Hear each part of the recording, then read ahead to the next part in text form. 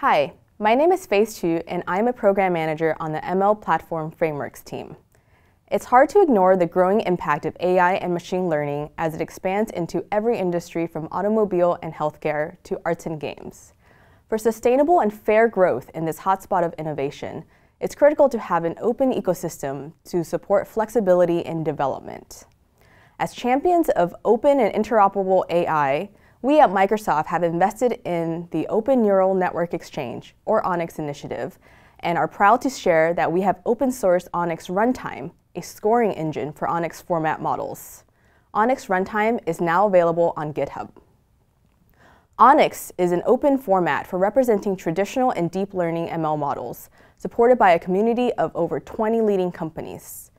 ONNX Runtime is a high-performance engine for running these models, fully compliant with operators defined in the ONNX spec, and works with both CPU and GPU across a growing number of platforms, including Linux, Windows, and Mac. It is designed with an extensible architecture to support plug-in hardware accelerators, allowing it to stay up to date with the latest innovations. Companies such as NVIDIA and Intel are actively contributing by integrating custom accelerators into ONNX Runtime. You can get a pre-trained model from the ONNX Model Zoo or train and convert it from any popular frameworks such as TensorFlow, Keras, Scikit-learn, PyTorch, CoreML, and more. ONNX Runtime is simple to use. At a high level, once you have a model, you can create a session, set the input data, and score the model. You can integrate ONNX Runtime into your code directly from source or pre-compiled binaries, but one simple popular way to operationalize this is through Azure ML to deploy a service for your application to call. Let's see this end-to-end -end in action.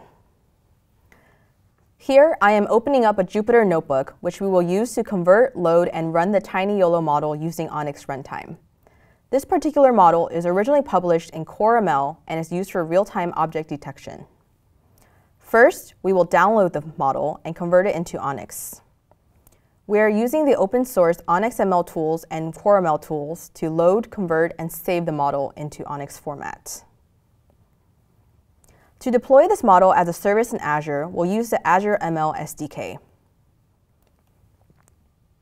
After creating a workspace, we can register the model we just converted for use. Using Azure ML, we will create a scoring file that contains the instructions to execute the runtime.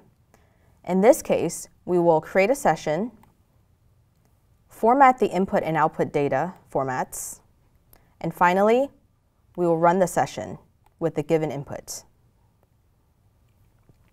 Next, we can just build and deploy an image with this model and scoring file using Azure Container Service. It can also be productionized using Azure Kubernetes Service for production level traffic. Since this can take a few minutes, we'll just use the service I deployed earlier using the same configuration. Let's put this to use in an application.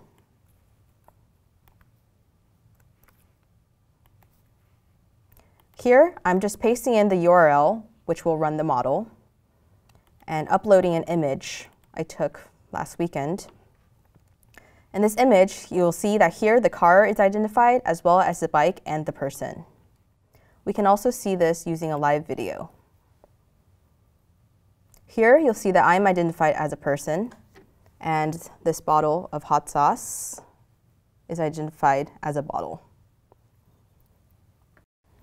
Here at Microsoft, we are using ONNX Runtime to improve the prediction latency and efficiency for many of our models using core scenarios within Bing Search, image and multimedia content recognition, office productivity services, and more. In online scenarios, it can decrease user-perceived latency for a better and smoother user experience, and for offline computations, it can save on machine costs by increasing throughput. Compared to original models scored on various frameworks, we have seen significant latency gains in running these models in the ONNX format using ONNX Runtime. We encourage you to try this out and to contribute to the continuously growing community of ONNX supporters.